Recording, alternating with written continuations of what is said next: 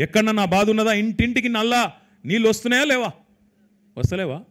వస్తే గట్టిగా సపాట్లు కొట్టురు లేకపోతే కొట్టకుని వస్తే గట్టి కొట్టురు అంటే ఇటువంటి పనులు ఇవన్నీ అల్కటి పనులు అయితే ఇవన్నీ నిజంగానే చాలా మాటలతోని ఉపన్యాసాలు ఇచ్చినంత అల్కగా పనులు అయిపోతే మరి మాకంటే ముందున్న సిపాయిలు అందరు చేద్దురు కదా?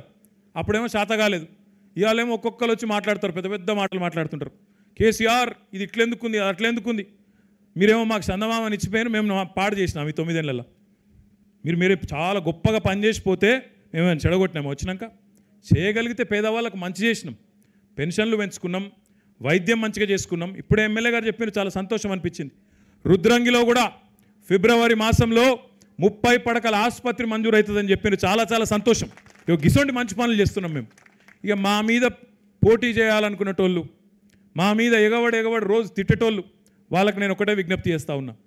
చేతనైతే దమ్ముంటే మాకంటే రెండు మంచి పనులు ఎక్కువ చేసి ప్రజల మనసు గెలుచుకోండి. రోజు తెల్లారు లేవగానే కేసీఆర్ని తిడితే కాదు. రోజు తెల్లారు లేవగానే కేసీఆర్ మీద తిట్ల పురాణం తిట్ల దండుకం నువ్వు గిట్లా అంటే గట్లా అంటే గట్ల కాదు. మేమేదో చిన్న ప్రభుత్వం తెలంగాణలో ఉన్నాం. మీది పెద్ద ప్రభుత్వం ఢిల్లీలో ఉంది కదా. మేము ఒక ముప్పై పడకల ఆసుపత్రి పెడితే మీకు దమ్ముంటే రుద్రంగిల వంద పడకల ఆసుపత్రి పెట్టుర్రి మేము వద్దంటలేం. మీకు సాతనైతే ఆ పని చేయండి. ఇప్పుడు నేను చెప్పిన జూనియర్ కాలేజ్ బిల్డింగ్ కట్టిస్తా అని చెప్పిన. మీకు సాతనైతే మీరు రెండు కాలేజీల బిల్డింగ్లు తీసుకురాండి మేము అద్దంటలేం. మేము ఒక రోడ్ వేస్తామని చెప్పిన. మీకు చాత అయితే మంచి ఈడికెళ్ళాడికి ఎడల్పుగా రోడ్ కట్టుర్రి. ఏమలాడకి వెళ్ళి కోరుట్ల దాకా మంచిగా నాలుగు లేన్ల రహదారి కట్టుండ్రి నేషనల్ హైవే చేయండి నేను అద్దంటలేను. మంచి పనులు చేసి ప్రజల మనసు గెలుచుకోవాలి కానీ తెల్లారు లేస్తే తిట్టుడు తిట్టుడు తిట్టుడు. ఇన్ని ఇన్ని పెద్ద మాటలు మాట్లాడతారు.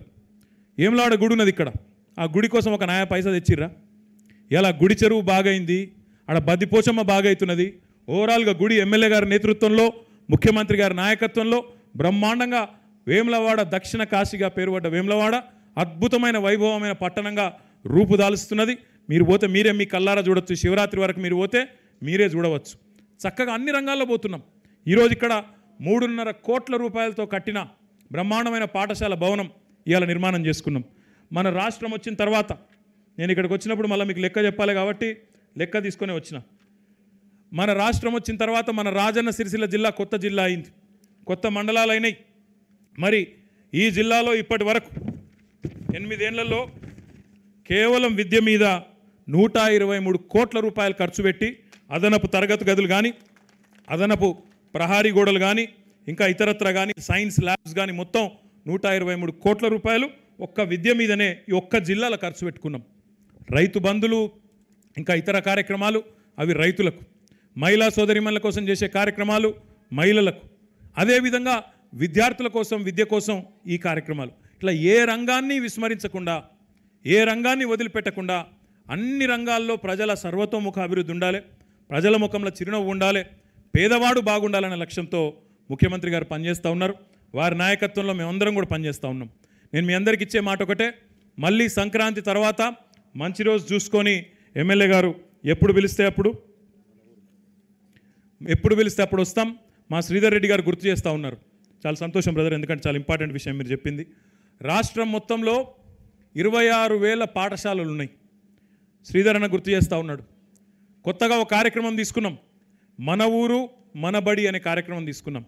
ఏడు వేల మూడు వందల కోట్ల రూపాయలతో రాష్ట్రం మొత్తంలో అన్ని పాఠశాలల్లో కూడా అద్భుతమైన వసతులు కల్పించి కార్పొరేట్ పాఠశాలలకు తీసిపోని విధంగా ఇంగ్లీష్ మీడియంతో పాటు మరి బడులను బాగు చేసే కార్యక్రమంలో భాగంగా మన జిల్లాలో కూడా చాలా చక్కగా నాలుగు వందల ఎనభై తొమ్మిది పాఠశాలలకు గాను మొదటి దశలో ఇది మూడు దశల్లో చేస్తున్నాం.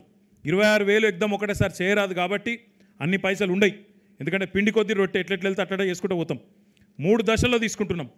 ఇరవై ఆరు వేలను మూడు భాగాలుగా విభజించి తొమ్మిది వేల చొప్పున చేసుకుంటూ పోతున్నాం. మన దగ్గర దాదాపు నాలుగు వందల తొంభై ఉంటే నూట డెబ్బై రెండు మొదటి విడతలు తీసుకున్నాం. దానికి గాను నాలుగు వందల ముప్పై నాలుగు కోట్లు ఖర్చు పెట్టబోతూ ఉన్నాం. రుద్రంగిలో కూడా మీ దగ్గర పదిహేను ఉంటే పదిహేనులో ఆరు తీసుకుంటున్నాం. దానికి గాను కోటి యాభై ఐదు లక్షల రూపాయలు మంజూరు చేసినామని చెప్పి కూడా ఇప్పుడే సోదరుడు శ్రీధర్ రెడ్డి గారు చెప్తా ఉన్నారు. ఈ రకంగా ఏ పని చేసినా ఒక ప్రణాళిక ప్రకారం ఒక పద్ధతి ప్రకారం తిప్పాపూర్లో హాస్పిటల్ కావాలి వేములవాడలో అన్నారు. ఇలా నూరు పడకల ఆసుపత్రి వచ్చింది. రావడమే కాదు కరోనా సమయంలో కూడా లిక్విడ్ ఆక్సిజన్ ప్లాంట్ పెట్టుకున్నాం. సిటీ స్కాన్ మెషిన్ పెట్టుకున్నాం. ఎమ్మెల్యే గారు ఇక్కడికి వచ్చే ముందు నేను కలెక్టర్ గారు ఎమ్మెల్యే గారికి వస్తే కూర్చున్నాం. తొమ్మిది మంది డాక్టర్లు కావాలి ఇంకా అని అడిగినారు. ఉన్న వాళ్ళకి అదనంగా. వాటి కోసం కూడా అక్కడ ఆరోగ్య శాఖ మంత్రి గారికి సెక్రటరీ గారికి మాట్లాడితే వెంటనే మంజూరు చేసి అప్పచెప్తామని చెప్పినారు. అంటే ఈ రకంగా ఏదైనా కూడా ప్రజల కోసం ఏదైనా మీకోసం మరి లాభం జరగాలి ముఖ్యంగా పేదవాళ్ళకు వైద్యం విద్య ఈ విషయంలో లాభం జరగాలన్న సంకల్పంతో ఒక మంచి ఆలోచనతో పనిచేస్తున్న ప్రభుత్వం ఇది. మరి మా ప్రభుత్వాన్ని ఎవరు ఎన్ని శాపనార్థాలు పెట్టినా ప్రతిపక్ష నాయకులు కాపాడేది మీరే అనేది మా నమ్మకం. మీ ఆ మీ ఆడబిడ్డలు మా అన్నదమ్ములు మీ ఆశీర్వాదం ఉన్నంత కాలం కేసీఆర్ గారిని ఎవరు ఏమీ చేయలేరనే మాట కూడా ఈ సందర్భంగా నేను మీకు విజ్ఞప్తి చేస్తూ మళ్ళొక్కసారి చక్కటి పాఠశాలను ప్రారంభోత్సవం చేసుకున్నందుకు మీ అందరికీ హృదయపూర్వకంగా ధన్యవాదాలు తెలియజేస్తూ మరి రమేష్ అన్న ఇక్కడ దాకా పిలిచిండు రుద్రంగికి కొద్దిసేపు ఉండిపోమన్నాడు కానీ భోజనం అయితే పెడతలేడు నాకు. ఎలగొడుతున్నాడు. ఇక అయినా సరే మరి రమేష్ అన్న కోసం రుద్రంగి కోసం మీరు బువ్వ పెట్టకపోయినా వచ్చేసారి పెడతారా బువ్వ? పెట్టరా? సర్పంచమ్మా పెడతావా? మీ సర్పంచ్ గారు కూడా పెడతా అన్నది మీ ఎంపీపీ గారు కూడా పెడతా అన్నది కాబట్టి ఈసారి ఆకలి కడుపుతో పంపుతున్నారు గుర్తుపెట్టుకోండి. వచ్చేసారి మాత్రం మంచి పప్పన్నం పెట్టాలని కోరుతూ మళ్ళొక్కసారి మీ అందరికి నమస్కారం. జై తెలంగాణ.